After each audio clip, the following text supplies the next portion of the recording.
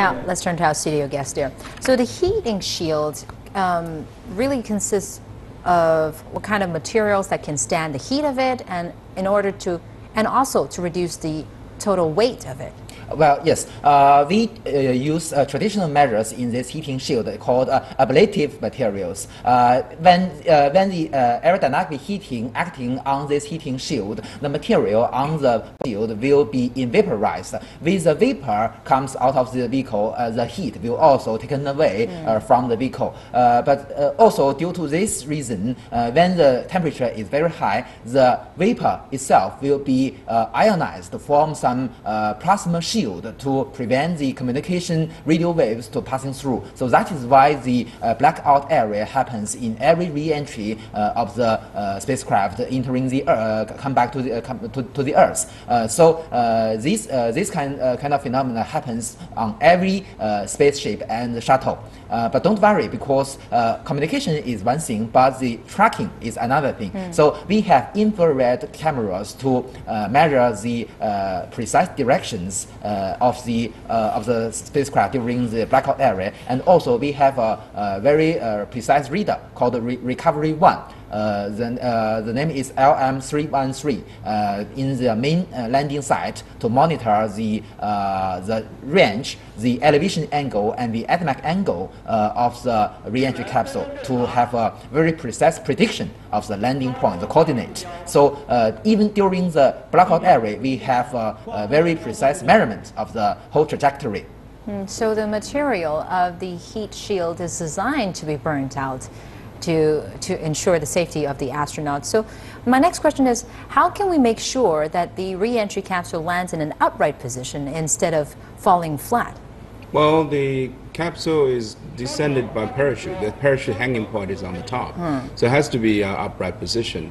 Uh, but uh, during the re-entry process, especially blackout, there's a, a, a, a slight thing zigzagging process. Hmm or a, a, gliding process that is controlled by aerodynamic design of the uh, of the heating shell as well as the uh, the capsule itself and the weight distribution, so that the uh, before it enters the atmosphere, it was it is adjusted to such an angle that in the process of blackout or the re-entry, where it descends, uh, decelerates uh, at the controlled attitude, and also there's um, but during the, the blackout process, that would be a little that we can do on board. But before that, we can precisely adjust the, the position of the capsule and to have a, a precise prediction of the entry point to the atmosphere as well as the exit point and the landing zone.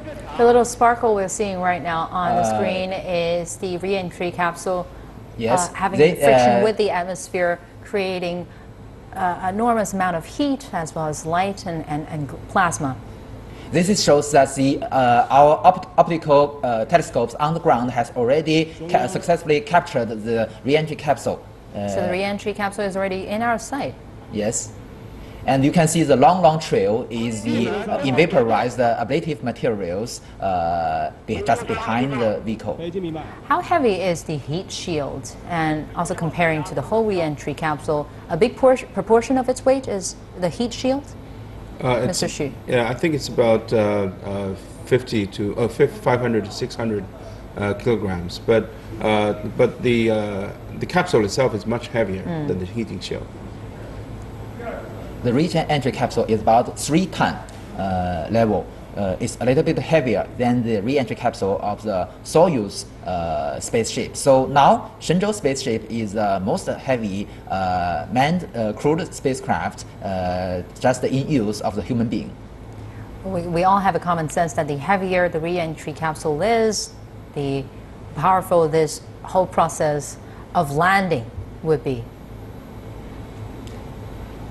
And because you see that we can monitor the, uh, the uh, uh, trajectory of the re-entry capsule through the uh, infrared camera, so the uh, the landing uh, coordinate can be updated very frequently. So the uh, the final one will be when the main parachute is deployed. So they will have a very precise prediction of the landing site.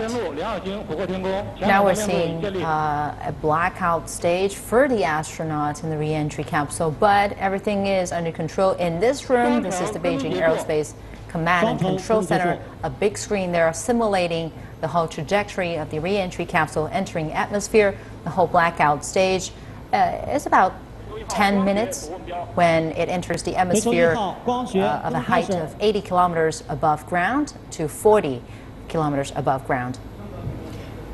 From the voice of the flight control room, we can hear that the uh, optical telescope has already captured the, uh, uh, the, the reentry capsule. Uh, because in different ground stations, we have not only one uh, telescope, and we have many readers to monitoring the whole reentry process. So all the uh, observation stations are reporting that they have already located and, and see the reentry capsule.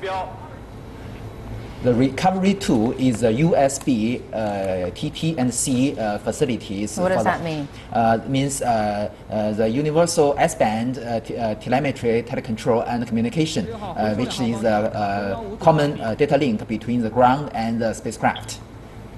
So just now you've heard that the command said the, the main switch has been switched on for the recovery recovery switch.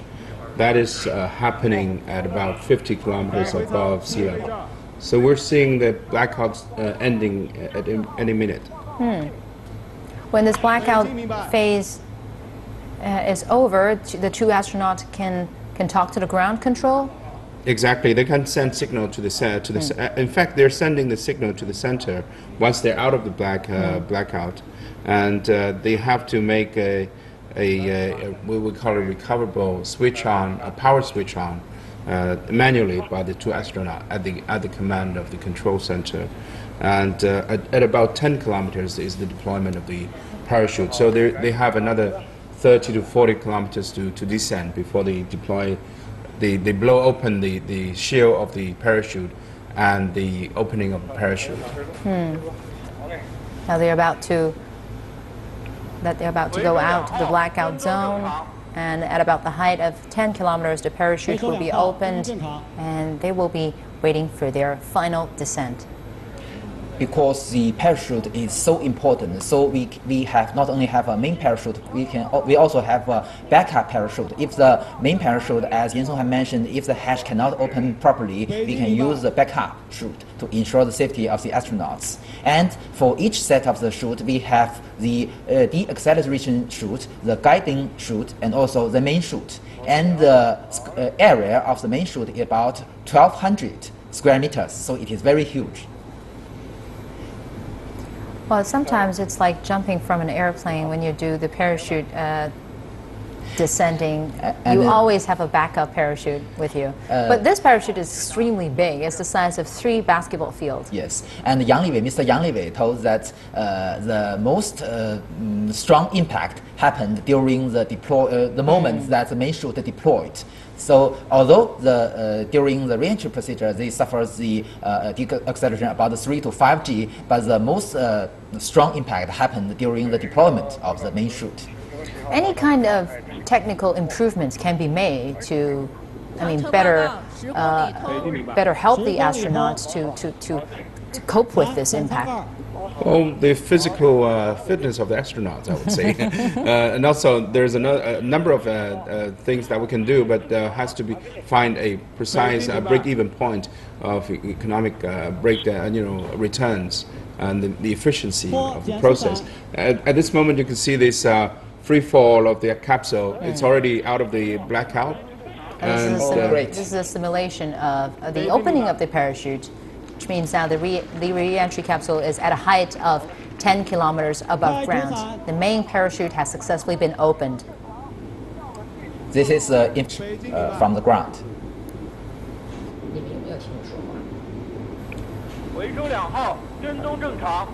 So the tracking station are reporting that everything is normal and under control. Now, as the parachute opens, uh, it's less than 10 kilometers from the sky to the ground. And the next uh, critical step will be the jettisoning of the heating shield.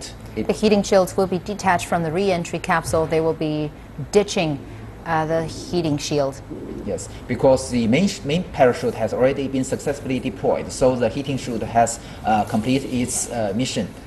and with the uh, jettisoning of the heating shield, will uh, continue to keep the normal temperature in the cabin. During previous missions, after the heat shield is uh, is dumped and detached from the re-entry capsule, it's always uh, collected in order to examine and, and study it. So, what kind of experiment will be done to the heat shield that is already uh, that will be uh, dumped in process. It will be also retrieved to study the uh, uh whole uh, reentry process. It is a very uh, valuable sample uh, for the to study the very accurate parameters of the whole reentry procedure. And uh, after that, uh, when the uh, reentry capsule is one meter above the ground, the uh, retro solid rocket, the four retro rocket uh, solid rocket will ignite, and the gamma ray altimeter will control this. so the ground uh, control center is now updating the exact location of the re-entry capsule's landing point. They're keeping this update uh, every few minutes according to the trajectory of this free fall. Now you can see cloud in the sky, so they're very, very close to the ground. Uh, as we mentioned, because we have many readers and also optical uh, telescope monitoring the whole landing process, so we can update the landing coordinates very uh, constantly and have more uh, accurate result.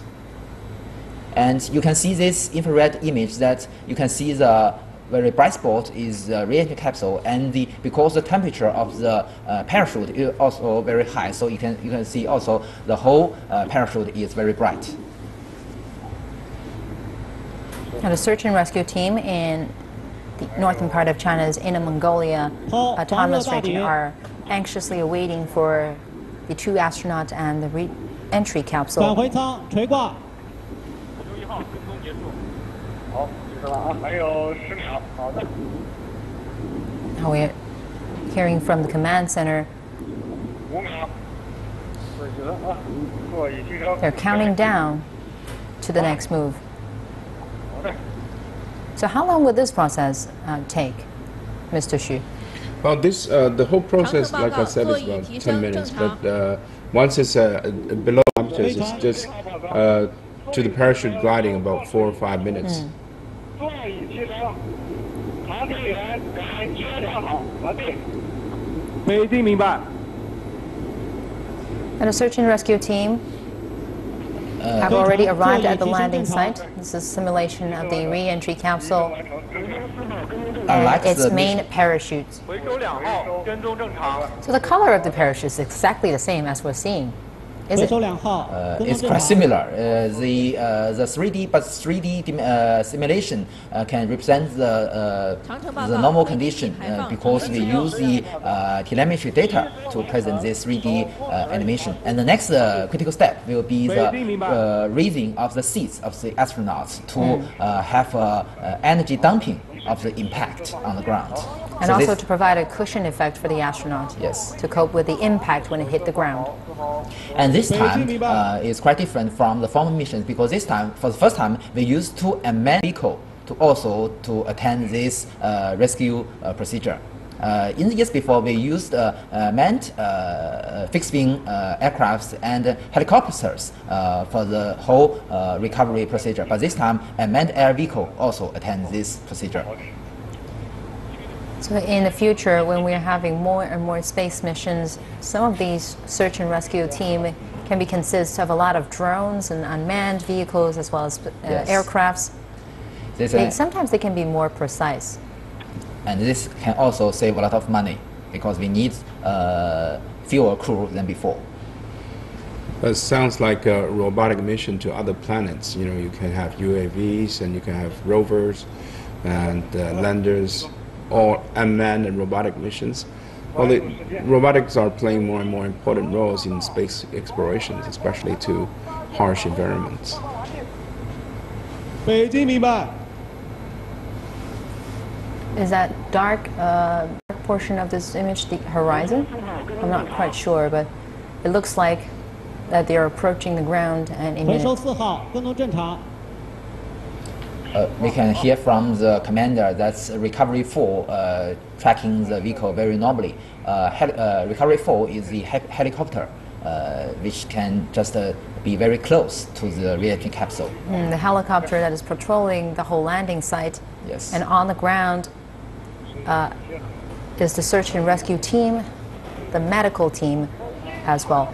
So after the re-entry capsule touches the ground, the two astronauts will be sitting inside the re-entry capsule just to recover a little bit from the whole process of re-entry, of, of, of friction, of the impact of the parachute, of the impact of it's hitting the ground. So um, they will be sitting there taking their breath and, and do what, Mr. Xu? Well, they would be uh, thinking about gravity. I mean, they, after a month and three days of uh, microgravity or no gravity or floating around, they would feel that they're they're back home. I mean, they, they, they feel their own weight for the first time in a month. So they, they would be recovering for, for um, orientations and, uh, and positionings. And I think uh, uh, the capsule, once land, probably will be on the side uh, in most cases, because in some uh, windy uh, uh, areas, uh, the wind can blow the capsule to the side. And there's a, also a manual detachment of the, cap, uh, of the parachute by the astronauts um, after landing. So they would be uh, making a few moves, make sure that they, they're physically fit and can go out of the capsule, and they have to help open the, the hatch. But the, the hatch can be opened from outside, but they, they can you know wave to the outside and make sure that they, they're, they're safe and they're sound back home, and they have to report to the control center that they have landed. just to do a few stretches as well. And also during previous missions, we can see sometimes the astronaut actually can manage to walk out of the reentry capsule, a a sign of uh, healthy, uh, a sign of really the courage of doing the whole process. And for the audience that are watching this, uh, it means the successful of this mission. It also means uh, a kind of a patriotic feeling as well. Uh, well, uh, this happens only in some early missions, such as Shenzhou 5, 6, and 7. Uh, you see that uh, stay longer in space, uh, since Shenzhou 9 mission stay nearly two weeks in space. Uh, if you come when, after touching down, if you go out very soon, it will be very dangerous for the astronauts. As Yan Song have mentioned, they have been adapted to the microgravity environment, and the re-adapting procedure for the astronauts will be a very long procedure for them. And if they move very fast, it's quite not, not good for their healthy. So uh, they will keep staying in the re-entry capsule until the rescue team come there. And uh, because uh, you see that we use the gamma ray altimeter to control the solid rocket engines uh, igniting uh, one meter above the ground. So uh, the first step for the ground crew when they reach the uh, re-entry capsule is to uh, block the uh, radiation source with a uh, cover to prevent, to avoid the uh, uh, uh, hurt of the radio, uh, radiation to anybody.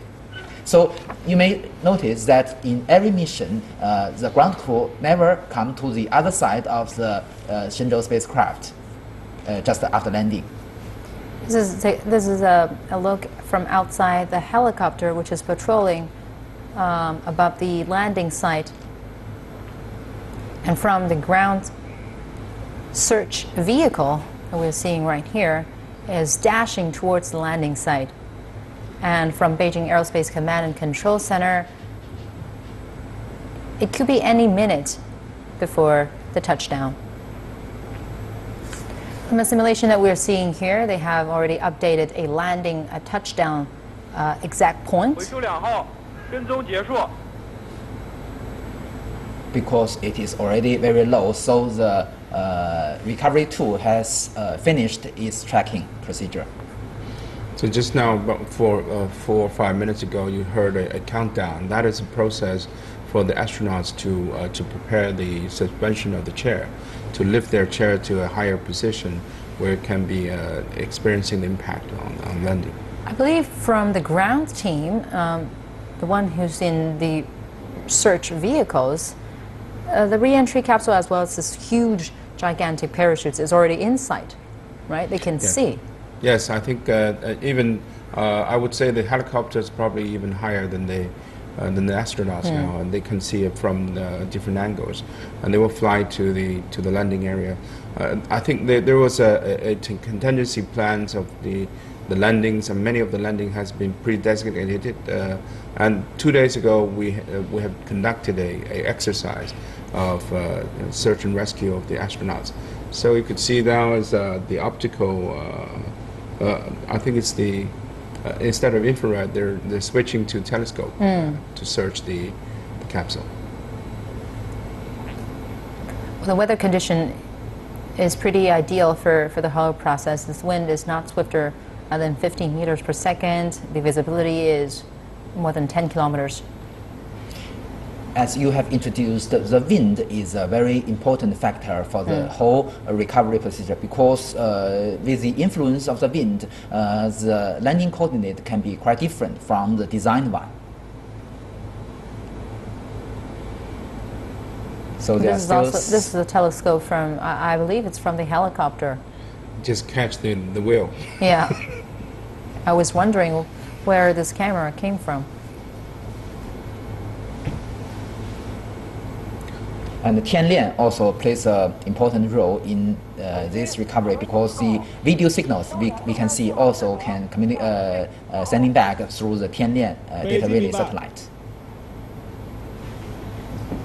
You're seeing recovery team on wheels are on the way to the landing site.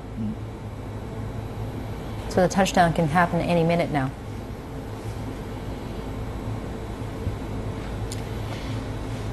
So maybe uh, it's cloudy in the main landing area, so uh, only the infrared can see uh, can ca- uh, catch the image of the re-entry capsule very nobly. So the uh, so the camera of the visible light uh, cannot work so perfect like the infrared camera. So And- the visibility is not quite ideal for, for this uh, landing. not very ideal. And uh, we should uh, also notice that this is the first time we China Aerospace recover the Shenzhou spaceship in winter. So it's quite cold in, Inner Mongolia, and we have already adopted uh, corresponding measures to keep the astronauts warm when they comes out of the cabin. Yes, according to weather forecast, uh, heat, uh, cold front is coming from the northwestern part of China, and I believe it has already uh, reached Xinjiang, Uyghur Autonomous Region, as well as Inner Mongolia, and it will be coming to Beijing in a few days. But the good thing of the cold front is it can cool down the capsule sooner than than, than expected. And the, the bad thing is that uh, the infrared signal can lose very quickly because it doesn't provide any heat prints uh, for the infrared camera. So they're they're looking for the itself and still searching. But I think they're probably in the parameter of the landing zone. Does that mean that the the re-entry capsule had had already touched down, or are they still in, in the air and searching? I am not sure if they have touchdown. I, I think they're still they're still uh, not touchdown yet because if you uh, you see the touchdown four four of the, uh, the uh, anti-thrust, if you like to call it, would fire and you would see the a very dusty area uh, of the touchdown area. Inner Mongolia is actually described to be an ideal place uh, for landing because of its vast flat grassland. But during wintertime, the grass, the grass is gone, and, and all that's left is, is sand but still the geographical condition is pretty, pretty ideal for, for the landing. It was chosen because it's, it's, less populated. You don't mm. want to land the capsule on, on top of anyone's house. So uh, it's an area that you can you can do uh, whatever you you like uh, basically with the with the capsule and it's an area that you can do search and rescue without uh, considering the human casualties on the ground. Well, as Professor Young has mentioned earlier, uh, the United States actually chose to land on sea, but China chose to land on land. So, uh, what is the consideration here?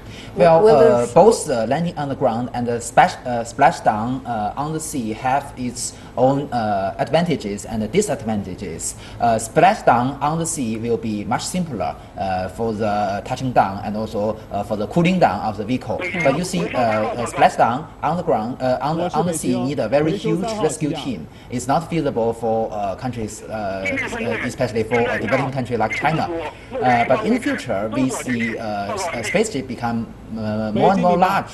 Uh, in the future, maybe we also can choose this splashdown on the sea. Uh, but for a small uh, spaceship like the Soyuz and our Shenzhou spaceship, uh, it can be landed on the ground. The disadvantage is that the impact on the ground will be much higher than on the sea. And also, we need uh, an additional procedure, as we mentioned, the jettisoning of the heating shield. So it's more complex than uh, touching down uh, on the on the sea. Uh, so we need the retro solid rocket to continue to slow down the vehicle when it touches the ground. So that is why we choose the gamma ray altimeter to control the ignition of the uh, solid rocket engine uh, when it touching down. And because of this, uh, there are radiation on the bottom of the Shenzhou spaceship, and we must avoid the hurt of the radiation when it's touching down. Indeed, if it's splashed down on sea, uh, the search and rescue can be really vast because you have to deal with the wave as well. The, the exactly. Uh, but the torrents of, yes. of the sea waves. But you see, uh, as we have discussed, uh, in emergency case, you don't have a choice. So the astronauts must be trained uh, when they uh, splash down on the sea, and they must uh, can survive depending purely on themselves uh, when they touch down. As you mentioned, maybe the rescue team uh, can only find them after a very long period. So the uh, ability, capability to survive under these circumstances. Inside the re-entry capsule, are there any emergency kits Exactly. They, for their survival they, in, uh, inside they the re-entry even have, capsule? uh, they have their food, communication devices, and they even have a gun to, uh, to keep them safe. Because maybe there are beasts in a uh, uh, very wild field. Maybe it's not for killing themselves, but wild animals. But at this moment, I would say that the uh, capsule probably has landed already, and Hmm. the, the search and rescue team is looking for the landing site. The ca- helicopter, as well as the ground crew, is, uh, is uh, running around in a search mode for, to, to find the capsule. What we talk about do happened in the years before. Uh, Mr. Uh, Alexei Leonov, uh, when he performed the first EVA of human being in space, when he comes back, the ground team cannot find the re-entry capsule, and they stayed in uh, uh, very heavy snow for so long time, and then they survived, and they, eat, they were even eaten by the wolves. So it's very dangerous for them when they come back. So the food on board, the food and, and life supplies on board can help them survive how many days? Uh, they can uh, the food and water uh, and also other necessary equipment can support them stay uh, maybe two days or more uh, uh, in- independently. Oh, well, I'm wondering, is this longer than normal, the search and, and locating of the re-entry capsule? I would say it's, uh, it looks like uh, it's longer. Uh, previously, we had launch uh, the missions that we re-recorded to the last minute. 我是北京， Oh, this is pretty 雄鹰， inaudible. 请重复。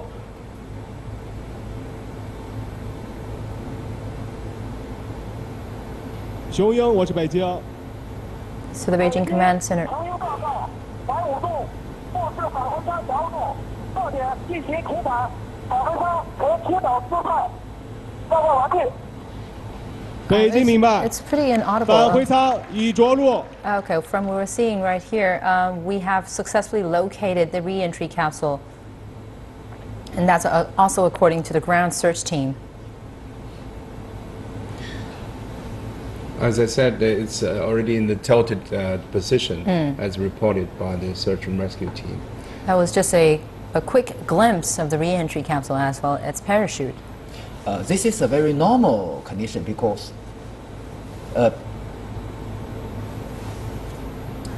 because you see that to, uh, to achieve a semi-ballistic re-entry, the, the center of the mass of the uh, re-entry capsule uh, must have a deviation from the uh, symmetric axis of the, uh, of the whole vehicle. So uh, when it touched down the 重 ground, 新报告，拐五洞直升机目视返回舱着陆，空船已降落，代理坐标为东经幺幺两度四两分幺六秒，北纬四两度两三两八分三九秒，报告完毕。 A report from the ground team saying that the re-entry capsule has successfully Dongji. touched down. 幺幺两度四两分幺六秒， They're, 北 they're, 纬 they're 四两 updating 度 the exact location 两八分 of the 三 altitude, 九秒，雄 the 鹰。 longitude and altitude. So we've heard been separated from the capsule itself, which is a good sig- a good sign 雄鹰，我是北 of 京 the。safety of the astronauts uh, because it has to be done manually by the astronauts. Well, this is uh, taking longer than usual, but it's probably because of the visibility of Inner Mongolia on this day. Usually, an ideal visibility would be more than 10 kilometers, but it looks pretty misty and cloudy there in Inner Mongolia. And it is also the first time China has, has conducted a, a landing maneuver in 北 wintertime.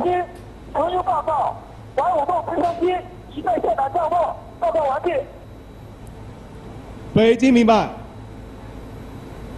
it seems that one of the helicopter has landed near the re-entry capsule. And because you, you see that in northern China there are smogs uh, in, in these days, so uh, it's natural that uh, we cannot have a very clear uh, video from the uh, landing site. Oh, yes, a smoggy day is not only bad for your health, but also not ideal for the search and rescue operation that we're seeing right here. But in the case of this, couldn't a radar or any infrared search uh, machine that can do the job The, uh, the radar and the uh, infrared cameras can only work when it's in the sky. Uh, because uh, the, uh, when it is uh, already touched down, it's too low for these kind of sensors to see to see the the spacecraft. So, 各号注意 uh,，我 but 是 we 北 have 京 uh,。根 radio 据 signals 着陆 from 场 the 区报告， ca- 拐 capsule. 五洞直升机已在着陆场区降落，着陆现场地势平坦，返回舱呈倾倒姿态，主伞已脱落。 So, a report from the Beijing Command Center is summar- a summary of what has just happened.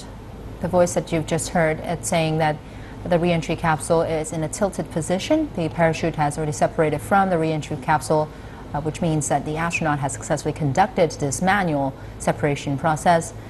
Um, it has also reported that the landing site is very flat. One of the helicopters has successfully landed. Does that mean everything is within control? Everything is uh, going on smoothly? Uh, at least from now, we can see that it's a very normal condition. Uh, you see, uh, the, uh, the cutting of the uh, parachute will be very important to avoid the wind dragging the uh, re-entry capsule uh, from moving. Uh, so uh, this means that the uh, Shenzhou spaceship is still in a normal uh, re- procedure.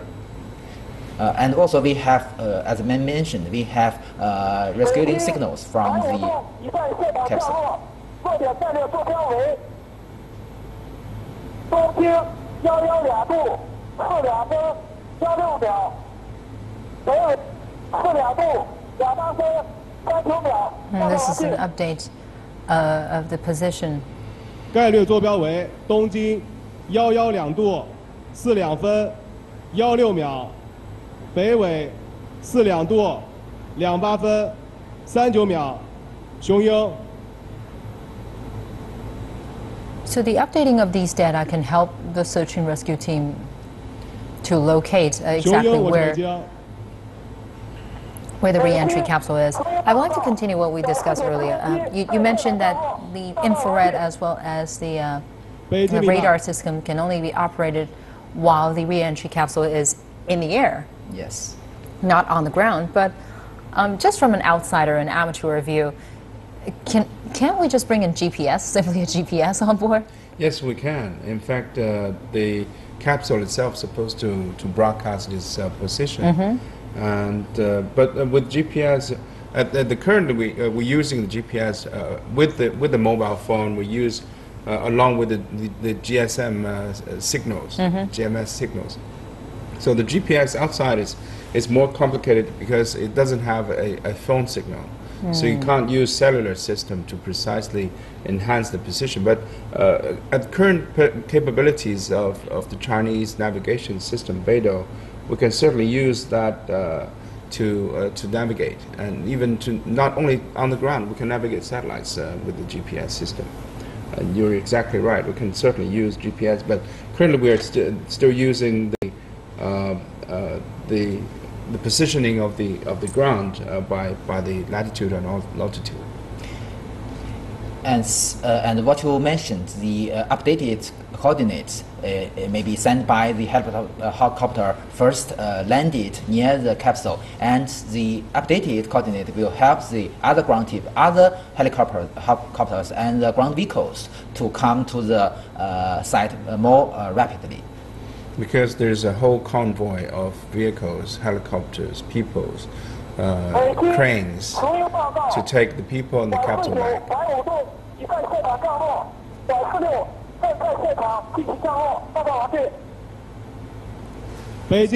So is that voice saying two more uh, helicopters successfully landed?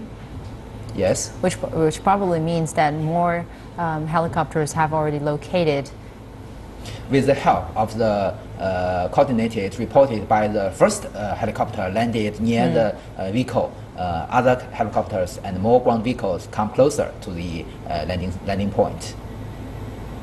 And I believe we can see the images of the capsule very soon. Because there are uh, visible light cameras on the helicopter and also on other ground vehicles. The communication on the stage is pretty critical. Because the landing zone is about 200 uh, square kilometers, it's a large area. Hmm. Sometimes take 20 to 30 kilometers, uh, 30 minutes to, to, get to the to the site. And this time it seems to be a, a pretty remote area where the helicopter has to get there first, rather than ground vehicles. Like I said earlier, the communication is uh, pretty crucial on this stage. You can see that uh, from this image uh, on the up right hand side is the predicted landing area, and uh, on the left uh, low Beijing side 明白。is the reported landing area. So they, everyone has to, uh, you know, it previously was at the predicted area, has to move everything to the exact uh, actual landing site. So it's a, it's a, it's a driving process. Even though this, this margin is considered acceptable, Yes, uh, because as you mentioned about the uh, 15 meter per second uh, limit of the wind speed, uh, so uh, everything is in uh, desi- uh, designed margin. Uh, within the design margin, uh, but uh, you see, uh, the ground team always standing by near the predicted theoretical landing point. Uh, so need, they need some time to go from the theoretical one to the real one. Now let's take a look at, at what we're seeing right here. The blue font on the upper right hand side means the predicted landing site and the, uh, the green font that we're seeing on the lower part means that the exact touching down point of the reentry capsule.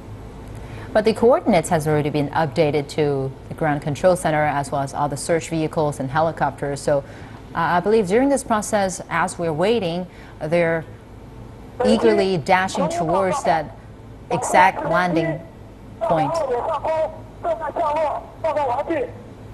Uh, one more helicopter has landed.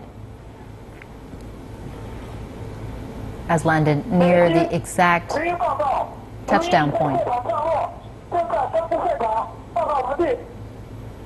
So, so one more helicopter successfully landed. Okay, I, we believe this is the image that we're seeing, the parachute, the white and red parachutes, and the re-entry capsule. A round of applause for a round of applause for the successful landing and locating capsule. Outside of the hatch, are uh, technicians as well as medical teams opening up the hatch. I believe a brief health checkup is Yes. done in this process. Uh, the, uh, they will check the integrity of the reentry capsule. And there are many operations uh, because the uh, propellants uh, has already been uh, uh, lead out uh, when the parachute uh, deployed. So uh, they will check if there are uh, still have some uh, poisonous propellants uh, outside the capsule. And also, as I mentioned, they will cover the radiation source uh, to keep the safety of the ground team. How many people, how many personnel are involved in, in this search and rescue operation?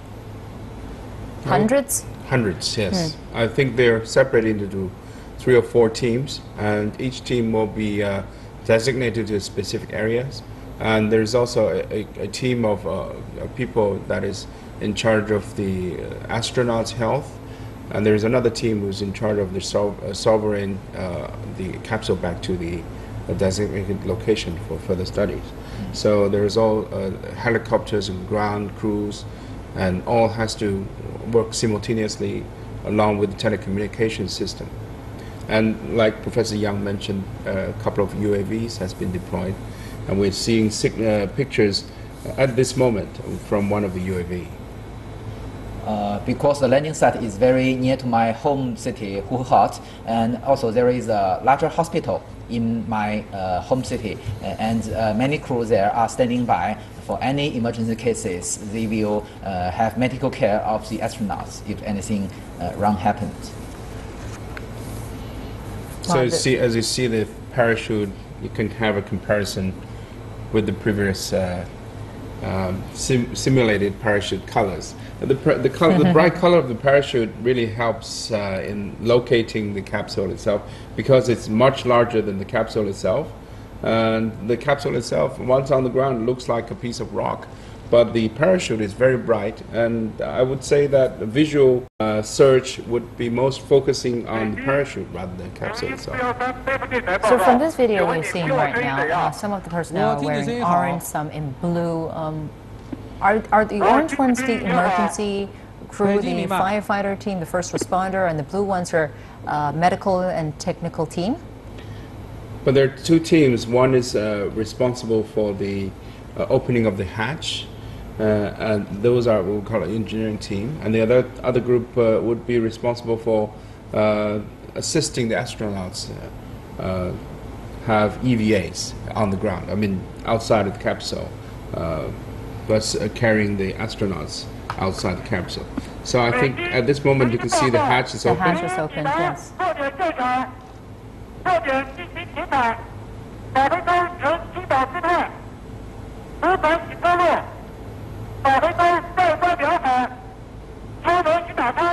Hmm, according to according to the report uh, from the ground, uh, it, it says that the re-entry capsule is intact um, the exterior of it looks intact, and the hatch has already been opened. But you can see from the capsule uh, on the lower part, some of the parts has been burned into black color. So those are in the blackout and re-entry process, where it's like a, a firing process has been experienced on the capsule. But the the report says the integrity of the capsule has not been broken, so it's intact, and uh, that should uh, guarantee the safety and uh, and and safe return of the astronauts. I believe during this time, the astronauts are adjusting to the gravity as well as well as this, the low temperature in Inner Mongolia at this moment? Uh, as we mentioned, the most uh, uh, the biggest problem is that they have stayed in space more than one month. Mm. So the re-adapting the gravity environment will be the most tough task for the two astronauts.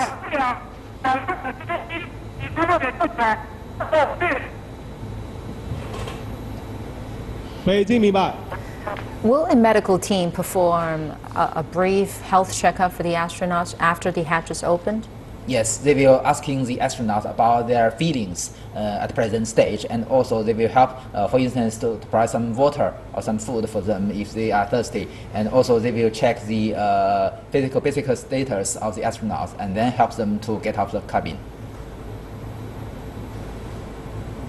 We can see uh, some medical kit has been brought to the hatch, as well as stretcher, chairs A national flag has been raised.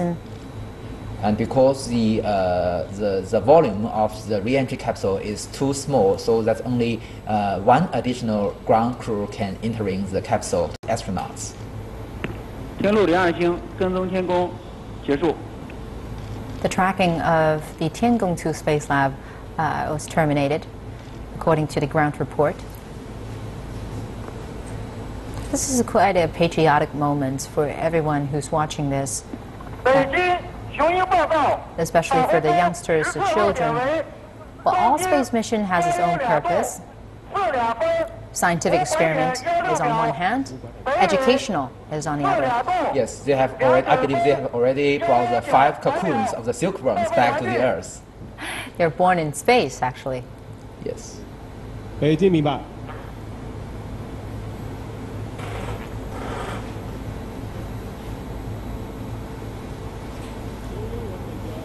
though the capsule has already touched down on Earth in China's northern Inner Mongolia autonomous region, the hatch is already open, but we're still waiting for the two astronauts to come out of the re-entry capsule.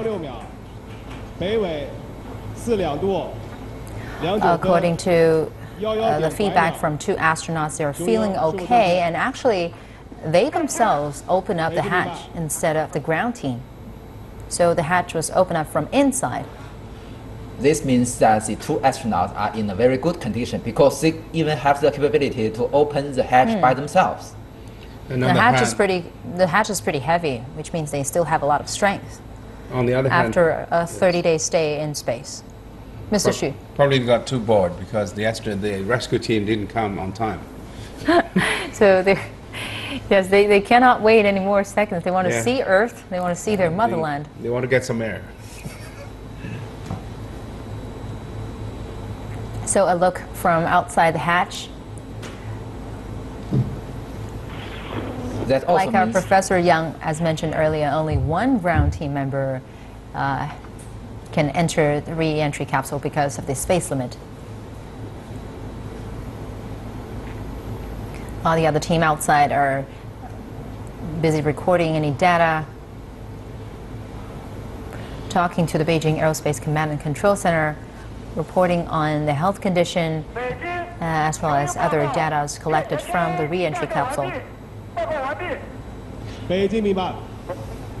And this also means that the uh, physical exercise in space they perform every day in space is very effective to keep them healthy and for, to help them to uh, readapt the uh, gravity environment more rapidly. So this will be uh, uh, recognized a good preparation for the future uh, space station program because the expedition team will stay in our future space station for half a year uh, in every turn. Yes, uh, Professor Yang here uh, is talking about the routine uh, gym that the astronauts have been doing during their 30 day in space. They were working before landing on Earth. They were working 10 days, 10 hours per day, six days per week. And apart from that, it's all their private time. They can do some, uh, they can walk and run on treadmills. They can do stretches and talk to their, uh, to the, to their family. Yes. I believe they have been enjoyed their life in space. Uh, and also, uh, Mr. Jing Haipeng and Mr. Chen Dong expressed their pity that it, it is pity they leaving their home in space. Uh, but it is also good to return a real home. Yes, of course. A 30-day stay is considered a midterm stay uh, on, on an international scale. China has already, well, from this stage that we're seeing right here, successfully tested the midterm stay of astronauts living in space. And in the future, when China establishes its own space station uh, in orbit, it means astronauts will be staying there for a couple of months, or sometimes half a year. Yes. That can be really challenging. And if China is aiming to establish its own space station, another key point is, of course, is the refueling and the cargo transmission from, uh, from the ground to space. So after the two astronauts come out of the re-entry capsule, uh, a lot of health tests and, and experiments are awaiting them. They will be bring back to the Wentienge, where uh, they No. will they will be bring back to uh, a facility that will that, that they can that they are still staying for a couple of days, even weeks. Uh, they will be taken back by the helicopters to the airport near Huhehot, uh, and then they will take a common aircraft, fly back to Beijing, and then to the space city uh, in the uh, northern part of Beijing, and stay there uh, to continue their reacting procedure to the uh, gravity environment. So how long would this process be? Uh, maybe several hours. I, I mean, I mean, they will be living in a facility to do more, uh, especially health tests there Yes. to readapt to the gravity That would take environment. days. That would take Days. days, or even weeks. Yeah. Um, and the, the, also there will be a, a debriefing process for the astronauts who have done and conducted their mission uh, on in ground uh, in the orbit, and they have to report on uh, all the details they have done uh, to the Tiangong 2 station and some of the, uh, the experiments. Uh, as Tiangong 2 is continuing functioning, and in coming day, coming year, in April will be uh, or you know, June will be launching a cargo ship to the Tiangong 2 to maintain its uh, operations. So a lot of things has to be debriefed, and uh, the report has to be formulated, so that the, the follow-on job can be conducted. It seems like a lot of follow-on, follow-on jobs uh, are awaiting them, but it's years of training before they enter the space, and it's weeks and months of debriefing follow afterwards. Will they have any vacation after the successful mission? Well, every day would be considered a vacation because that's their job and they, they enjoyed it. I, I, I presume they would very much enjoy that, um, uh, the exercise they do every day and the, uh, well, I, I think some of the uh, experiments and the exercise are very tough for them, but uh, I guess it's their career and their brotherhood among uh, other astronauts uh, I think they very much enjoyed that life uh, in, in the campus of the astronauts. And the first batch of astronauts of China had 14 crew members. And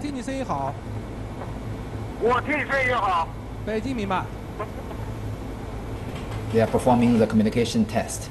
Mm. And both, both sides say the, the voice is pretty audible and clear.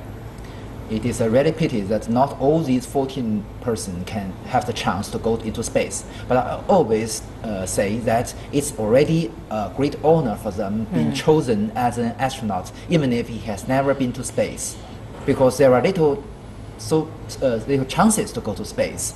And and we do have uh, uh, some of our astronauts, like Mr. Wu Jie, who will not be having the chance to go to space.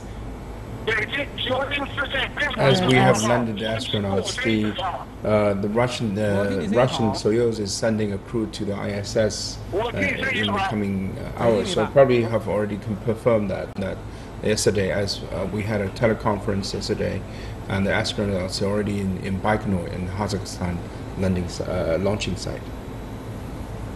Well, the two chairs that we're seeing, the two white chairs that we're seeing, indicates that uh, the two astronauts can can be brought out any seconds now. Just now we see some catering service. It looks like they're having lunch inside the capsule. But I'm not sure if they brought in our bread or something else. But uh, looks like they, after a month of starvation, they probably feel very hungry and looking for some earthly food. not those toothpaste, and not those toothpaste of food anymore. It's actually 2:32 p.m. here in Beijing, and in, in Mongolia, it, it's it's winter time. The wind is now Very blowing pretty strong, uh, judging from the flags. and different from the previous missions. This time, uh, in the previous missions, the, the readapting procedure of the astronauts mainly uh, in the cabin, But this time, uh, most of the, uh, as uh, as mentioned by the crew from the China Astronaut Center, most of these procedure will be performed in the helicopter. This is also due to the reason what you mentioned because this is in winter, it will be quite cold outside. And this readjusting procedure will be longer than usual because they have spent 30 days. That's the longest time expansion that Chinese astronauts has ever experienced. 完毕。北京明白， Just now we heard voice from the astronaut 神舟十 himself. 一号辛苦了，祝贺你们凯旋，向你们致以崇高的敬意。 So welcome back, and uh, we have a very gratitude to see you back in a very good condition. and See you in Beijing.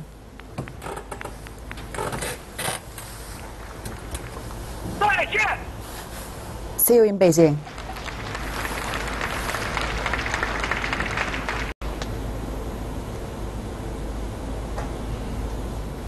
From the voice of the astronaut, it sounds they're, they're very in a very good shape. Yes, that, that's a very that's a very loud Very loud greeting, goodbye. very loud greeting. We just heard the voice of Mr. Jing Haipeng, full of confidence and strength. Yes, this is a veteran. He has been in space three times before. Yes. And he hopes that because he go to space every year, after, uh, every time after the Olympic Games, so he hopes that uh, after the next Olympic Games, he will have the chance to go to spe- space. At that time, will be our future space station in 2020. Yes, China is aiming to uh, establish its own international space station by the year of 2022. And by then, the International Space Station, the International Space Station, is, is still uh, in the orbit. Its retirement has been postponed to 2028. It was originally set for 2022, but that can bring a huge opportunity to China uh, in the future. By the year 2020, uh, 2030, Chinese uh, space station will be the only orbiting space station Uh, because uh, you know that mm, I have many friends uh, in other countries. Ast- the astronauts are uh, pay their attention to China's uh, space activities, especially the manned space activities. My friends even begin to uh, learn Chinese because they hope that in the future they have the chance to visit China's space station. Sometimes when we see in movies, each country's spacecraft has its own control panel. And Gravity, um, Sandra Bullock, the actress in this movie, she actually entered one of our own space uh, spaceship and controlled the, the whole spaceship by learning Chinese and looking at the manual and, and doing some controlling on the Chinese control panel. So that may be what you're saying about your internet, about your foreign friends, about your foreign astronauts. That is that's keening, that is keen to learn Chinese. Frankly speaking, uh, many of my uh, friends uh, in other countries complain about that they have to learn Russian uh, when it comes to the ISS. They always complain that it is a very tough task for them. So the control panel in our spaceship is indeed in Chinese. Uh, yes, indeed, it's in Chinese. Uh, I think there's no linguistic requirement for the astronauts. Uh, but the, the cooperation between European Space Agency and China in, in human space missions is that the European astronauts are starting. Um, but there, there's a in the International Space Station. I mean, every country speaks their own language, but they also have a common working language, which is English, and uh, this this is unprecedented for the Chinese. If you need to have international cooperation, uh, language is, one thing, but um, but flying in outer space, there are just so many common languages that you know you can have body language, uh, can uh, can be quite sufficient to communicate with each other.